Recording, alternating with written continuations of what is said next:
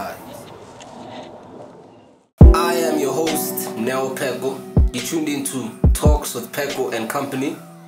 Today we're joined in the studio by an artist from the East Rand, and I feel he's very talented and passionate about music. He goes by the name of China McChancer. What's up, bro? Hey, what's up? Hey, hey.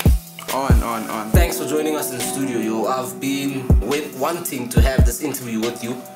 It's actually like very great to have you here, you know. Thank you, bro. Thank you for having me on the show. So, man. So please tell us who is China McChancer and where you from? China McChanza, bro. Mm, how can I put it? Uh, it's a guy from the East Rand trying to look uh, into the music industry and Yeah. fuck shit up. if, Yeah. yeah, you know what I'm saying. Um, yeah, I'm trying to, yo, bro. That's, I came a long way, bro. Yo, yo, like from since 2013, wanting to actually do music. So, Like, yeah. That's And- why. schooling background, which school did you go to? I went to Crystal Park Primary School, and then now I go to Wordsworth High School. I'm still in high school, by the way. So yeah. Oh, wait. He's the first youngest rapper on the show, and shout out to that, you know. You just broken the history books of our talk show. Um, you said you were the first rapper in Crystal Park Primary. Yeah, How true is that? How can you prove it? Well, like I don't want to sound like too cocky or anything, but Sure. you know what I'm saying. But like I feel like I was, cause um, like back in my days, like young kids never actually had the chance to go into studio, Yeah. actually do music. It, it was just like I felt like I was the first one, cause as soon as I um, had my first track, 2014 or 13, if I'm not mistaken, like a lot of cats were like, bro, were you recording at an actual studio, like as in like a real studio? Like it was just like that, bro. And then that's how like a lot of people actually knew me and found me like as like the cool kid. Yeah. Like I wasn't really cool though, but like you know I was just Surely you were popular though, Like I was popular. I was popular. I was popular. short. Yeah. And then like, if you could remember, like how many tracks did you make while you were in primary? in primary school.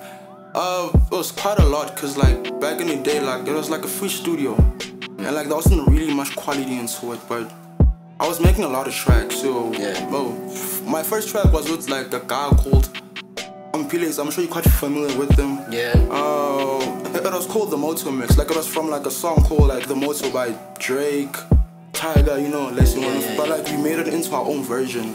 That was my first song, and then like it blew up there. But like there was no internet at that like at that time, so we just like sent a few people, and then yeah, it was just like that. Yeah, I hear you saying that it wasn't really great quality in studio and stuff, but Yeah. you know the passion was there. And Yeah. shout out to you for actually continuing Thank you, bro. Thank you. making the music. And then in high school, in terms of workload, I know that you get a lot of homework and assignments. Yeah. How do you balance music and school?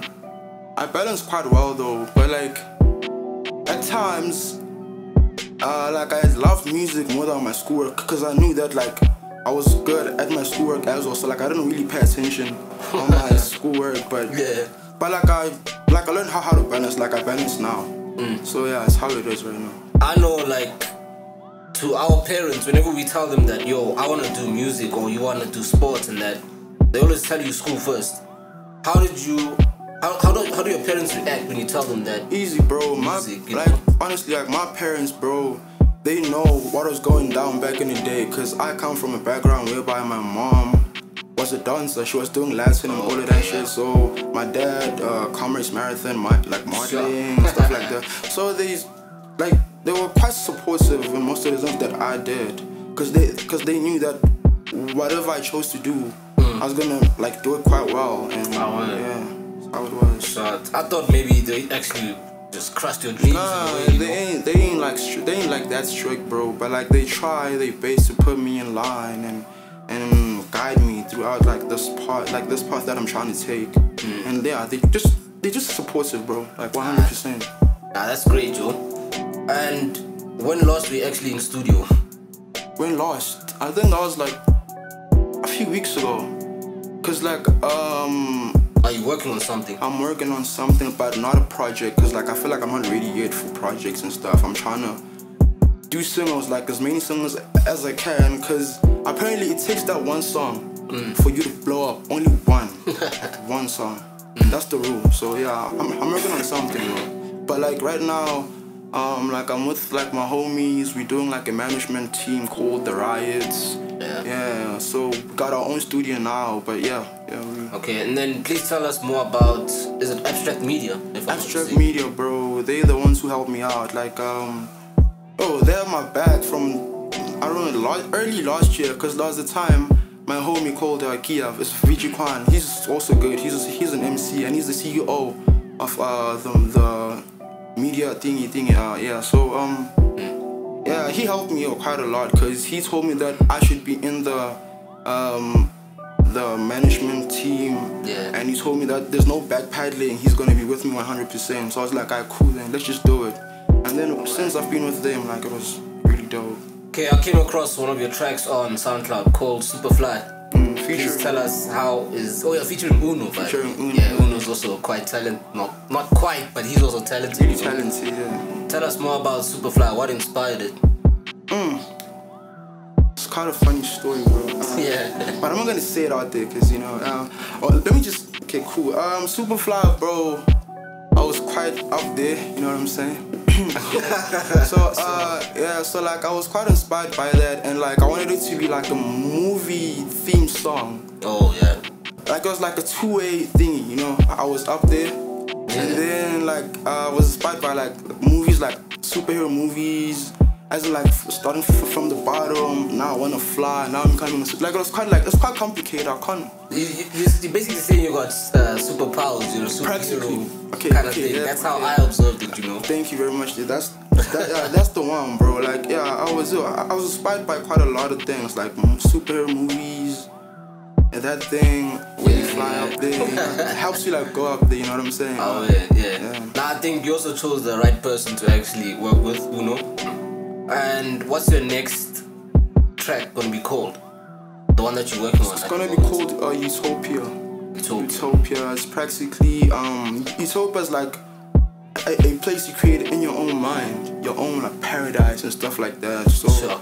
yeah, I'm speaking about you know, quite a lot of things, uh, which is actually like uh, wom- like inspired by like woman and love and some type of thing. Cause like like I'm not really like a love type of um artist who sing about girls and stuff like that. But Yeah. right now I was I was quite inspired. Like I was in a phase of you know like girls and stuff. like, So I think you should actually get Steph on that track. You know, Steph is like Still, oh, oh Yeah, oh yeah, artist, oh yeah. I heard about the kid. I heard about Yeah, the kid. yeah. He's he's also quite talented. yeah, also from the east. You know. but like right now, I'm not trying to look for a feature. I'll see when I'm in the right space. But a lot of cats out here, yo, they they they talented, Yeah. bro. A lot. straight up.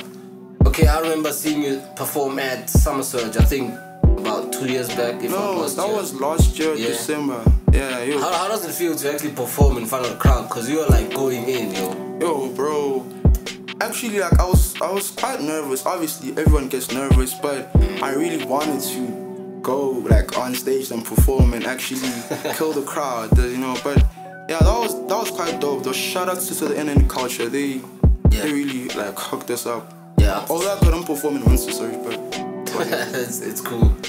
And would you would you describe your sound as mosh pit music? I don't really have a perfect description for my sound, bro. Yeah. I really don't. I'm trying to, I'm trying to find the, the perfect word, but like my homie said I should call it, my homie McFlux said I should call it um cinematic.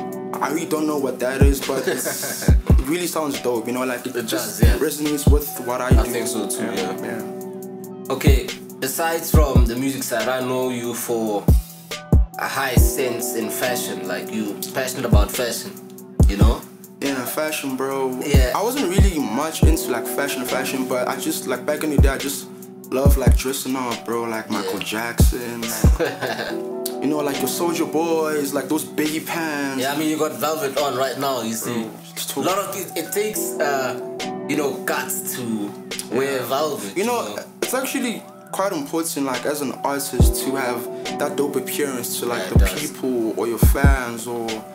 Like I'm not saying like I have fans, but you know, like I have people who you know who actually are there for me and stuff like that. But you gotta have like a cool appearance though, and I chose the fashion side as well to be Yeah. like strictly in fashion and in music. So yeah, Yeah, you're part of a group called Gangway, and you guys dress up like in some.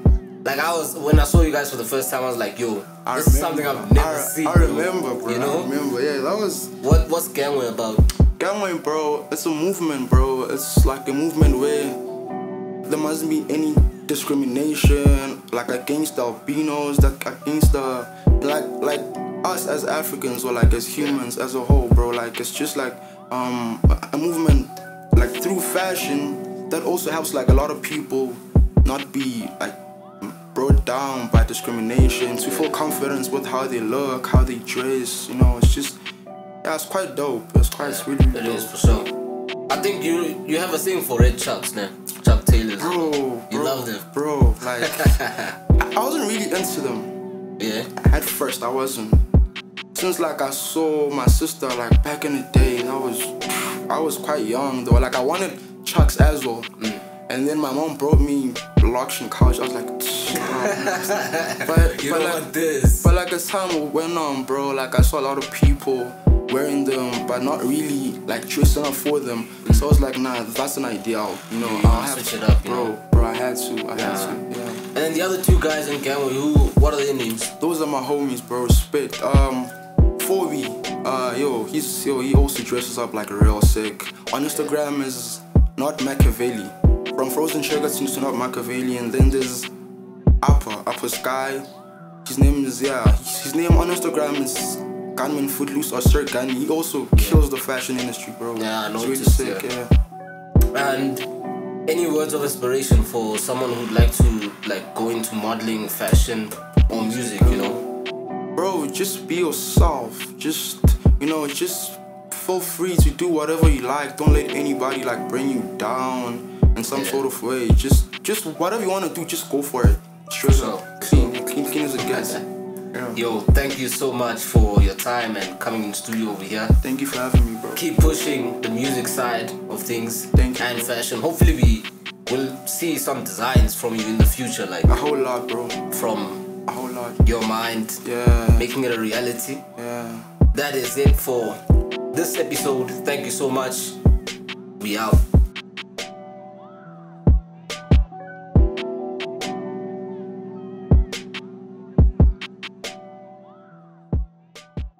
Yo, what's up? This is China McChance. Tune in to Talks with Pheko and Company. Keep it locked. Yeah, yes, sir. Tune in with. Duh.